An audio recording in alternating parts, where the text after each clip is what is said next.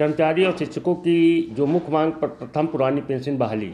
पुरानी पेंशन के लिए कर्मचारी और शिक्षक पूरी तरह से नाराज़ हैं सरकार से और मृतक आश्रित सुविधा जो शिक्षकों के पुत्रों को मिलता था मृतक आश्रित के रूप में, शिक्षक पुत्र के रूप में, वो अब चतुर्श्रेणी कर्मचारी बनाए जा रहे हैं और प्रधानाध्यापक के पद समाप्त हो गए हैं और आउटसोर्सिंग पर कर्मचारी और शिक्षकों की संविदा पर नियुक्ति हो रही है। इससे कर्मचारियों के अस्तित्व पर प्रश्न खड़ा हुआ है। इसलिए ये एक तरह पे बाजारीकरण और निजीकरण की ओर से सरकार जा रही है। इसलिए कर्मचारी और शिक्षकों में पूरी तरह से नाराज़गी है। देखिए, राज्य कर्मचारियों का बहुत बड़ा योगदान है किसी भी प्रशासनिक कार्यशैली में और निश्चित तौर पर प्रदेश तरक्की की राह में आगे बढ़ रहा है तो हमारे राज्य कर्मचारियों का भी उसमें अहम योगदान है। कई बार ये होता है कि जो कर्मचारी संगठन होते हैं, उनकी मांगें होती हैं।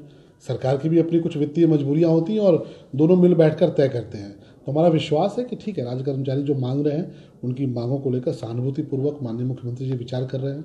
जो भी रास्ता निकलेगा, उनकी बेहतरी के लिए निकलेगा। और जहाँ तक 2019 की बात है तो राज्य कर्मचारियों को भी ये बात पता है कि एक बेहतर प्रशासनिक व्यवस्था देने का काम माननीय मुख्यमंत्री जी की अगुवाई में हुआ है। पिछले पंद्रह सालों में उत्तर प्रदेश में जो प्रशासनिक व्यवस्था थी, जाति के नाम पर पार्टी के नाम पर राजनीतिक करण किया गया था, उत्तर प्रदेश की ब्यूरोक्रेसी का, कर्मचारियों का।